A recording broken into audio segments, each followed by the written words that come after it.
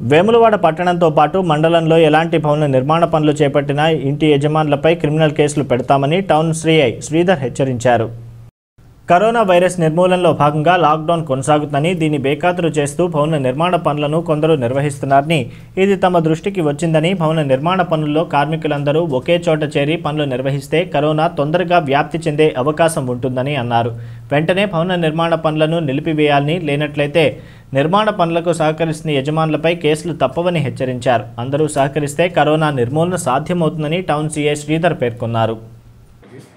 ఆ యజమానుల మీద ఖచ్చితంగా తీసుకుంటాం. అట్లే ఈ వెహికల్స్ అనవసరంగా మీ రోడ్ల మీదకి వస్తే సీజ్ చేసి కేసులు పెడతాం. అనవసరంగా ఫోర్ వీలర్స్లో ఇద్దరు టూ వీలర్ మీద ఒక్కళ్ళే పోవాలి.